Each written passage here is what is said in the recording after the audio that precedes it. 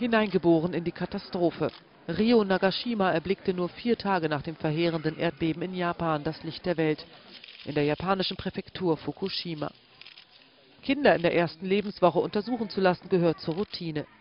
Den ersten Termin hat Rio aber nicht mit einem Kinderarzt, sondern einem Geigerzähler. Ich sorge mich so um die Strahlenbelastung des Wassers, sagt Rios Mutter. Je länger das Ganze andauert, desto mehr habe ich Angst.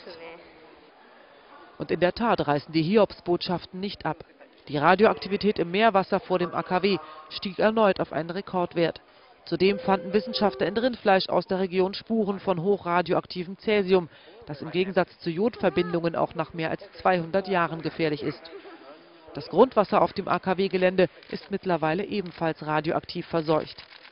Eine Ausweitung der Sperrzone um das havarierte Kraftwerk lehnt Japans Regierung trotz eindringlicher Appelle aber weiter ab.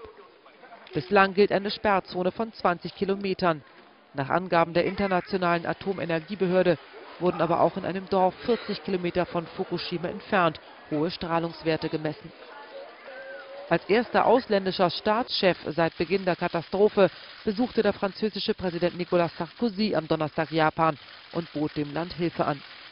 Zugleich verteidigte Sarkozy die Kernenergie und forderte einheitliche Sicherheitsstandards für Atomkraftwerke weltweit. Kein anderes Land auf der Welt hängt so stark von der Kernenergie ab wie Frankreich.